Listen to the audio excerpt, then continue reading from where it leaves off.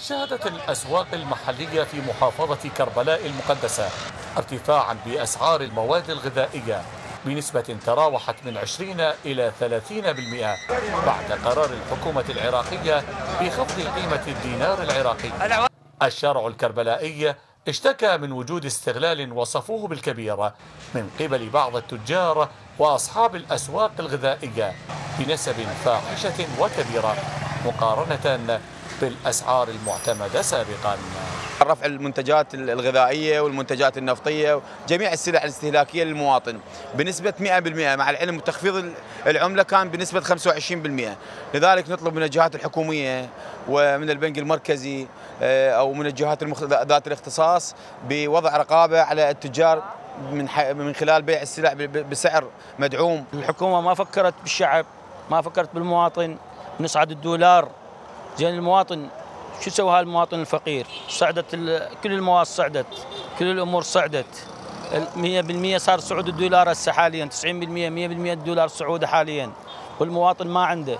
وكل المواد جاي نستوردها إحنا من الخارج كل الصعود هذا. زين هذا المواطن منين يجيب؟ زين الدولة والحكومة.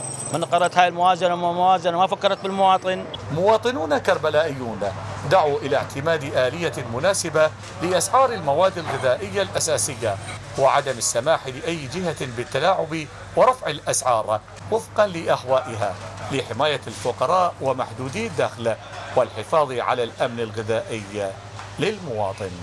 الموظفين وأصحاب الدخل المحدود المتضررين الأكبر بهذا الموضوع إنتاج وطني ما عندنا سعر الصرف الدولاري ياثر على مضايعنا من 90 إلى 95 من المواد الموجودة هي مواد مستوردة.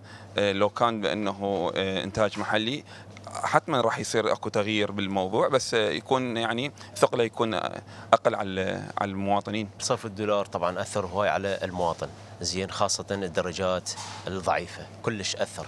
وهسه صار أكو تأثيرين على المواطن، التأثير الأول هو صرف الدولار والتأثير الثاني خفض الرواتب، أجن اثنيناتهم بنفس الوقت. اثرا على المواطن بشكل كلش كبير. وحذر خبراء اقتصاديون ونواب من تداعيات رفع صرف الدولار الامريكي أمام الدينار العراقي والتي ستزيد من معدلات الفقر بين العراقيين بالإضافة إلى نتائج كارثية على طبقة الفقراء.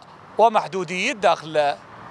من كربلاء المقدسة معتز العبودي زاكروس تي في